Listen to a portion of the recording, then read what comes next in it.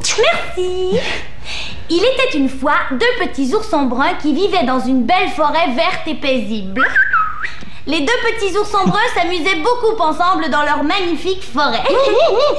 Chaque jour, ils inventaient de nouveaux jeux et faisaient mille et une découvertes merveilleuses. Ah Mais parfois, ils s'ennuyaient de leur ami l'ourson gris qui vivait de l'autre côté de la rivière.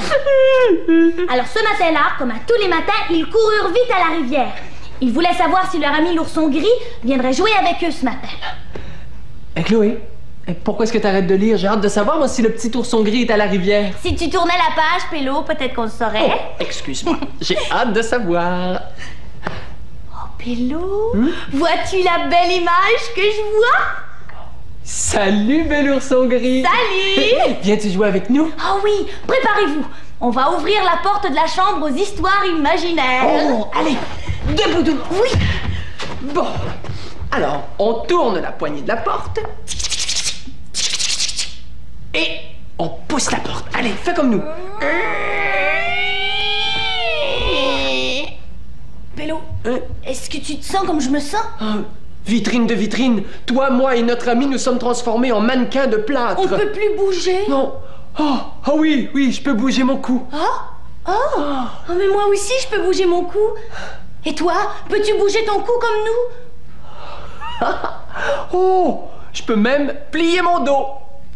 Oh Mais nous aussi N'est-ce pas, notre ami? Salut. Salut Bougeotte de bougeotte, je peux même marcher. Oh, mais moi aussi Oh. Tu te promènes avec nous? Allez. Oh, porte tournante de porte tournante, nous sommes dans un grand magasin à rayons. Pélo, Oui, penses-tu ce que je pense? Je pense que oui, Chloé. Vite, courons au rayon. À jouer. Courons, courons Oh, suis-nous. Oh, Nounours de nounours, c'est plein de toutous partout. Oui, le joli ourson gris. Oh, la jolie petite souris. Et puis le joli petit chien. Quel drôle de petit museau. Chloé s'est transformée en chiot parce qu'elle a touché au drôle de museau du petit chien.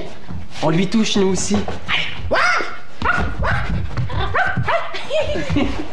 Oh, Pélo, si on touchait au bec du pingouin maintenant Oh oui, je trouve ça comique, moi, un pingouin. Allons-y. Mais, Pélo, comment ça parle, un pingouin Un pingouin Euh, ça parle euh, en pingouin. Pingouin. Pingouin. Pingouin. Pingouin. Pingouin. Pingouin, pingouin, pingouin, pingouin. Allez, fais le pingouin avec nous. Pingouin, pingouin, pingouin. Pingouin, pingouin, pingouin. Alors, mon pingouin, tu aimes ça, faire de l'exercice? Suis-nous, c'est ce qu'on va faire.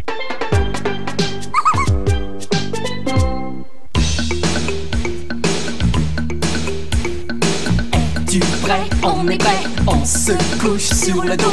On va faire l'exercice. Plie tes jambes, plie tes genoux. On va lever la tête. Qu'est-ce que tu vois là-bas? Qu'est-ce que je vois là-bas? Attention, un, deux, trois. La tête en haut, en bas.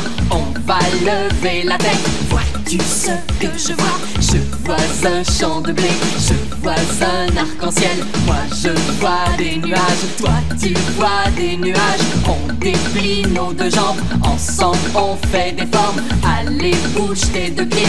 On va faire des grands ronds. On va faire des petits ronds. Allez, on fait des ronds. Allez, on fait des ronds. On va faire des carrés. On va faire des carrés. Petits et grands carrés. Allez, fais des carrés. On se couche sur le ventre, on se couche à plat ventre. On lève les bras, les jambes, plus haut, encore plus haut. Enfant forme,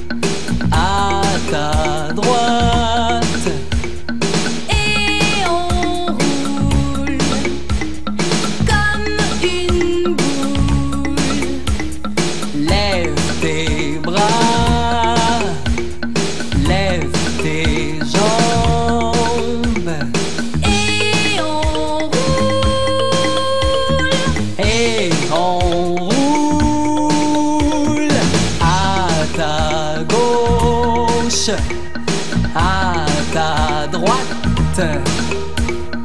Et on roule comme une boule.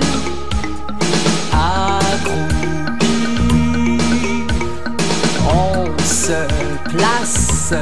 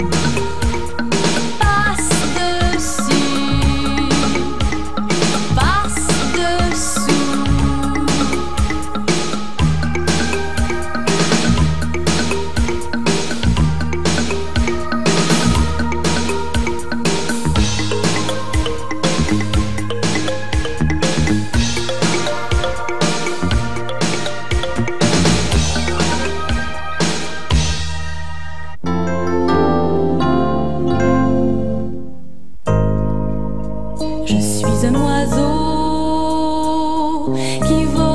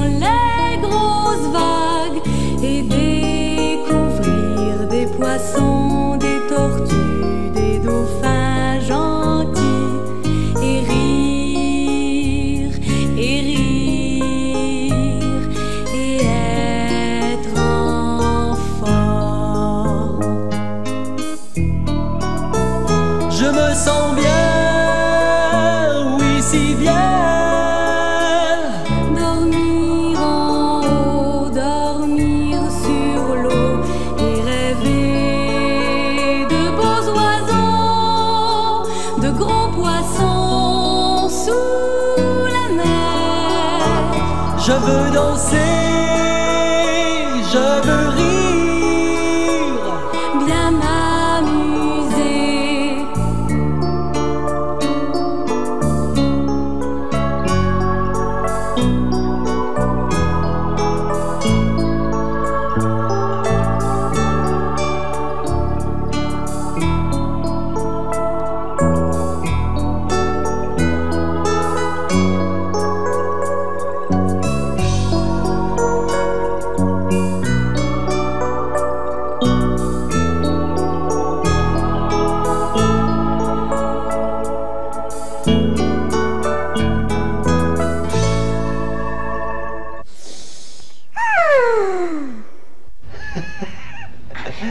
La vois, Pélo Grimace de grimace, je peux pas la voir, ma grimace serpent me fait trop rire. Oh Ça y est, je la vois. Ma luette est bien là dans le fond de ma bouche. Bon. Pélo et moi, nous t'avons préparé une petite démonstration pour illustrer l'intérieur d'une bouche. On commence? Oui. La bouche est composée de deux lèvres. Oui. Les lèvres, c'est comme la porte d'entrée de la bouche. Elles protègent aussi les dents, puis la nourriture ne peut pas entrer dans la bouche si les lèvres ne sont pas ouvertes.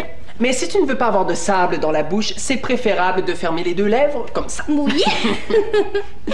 Quand la nourriture est rendue dans la bouche, il faut bien la mastiquer avec les dents. Oui, t'as raison, Chloé. Les dents, c'est très important, surtout pour croquer dans une pomme. Nous possédons plusieurs sortes de dents. Premièrement, les incisives, en avant de la bouche.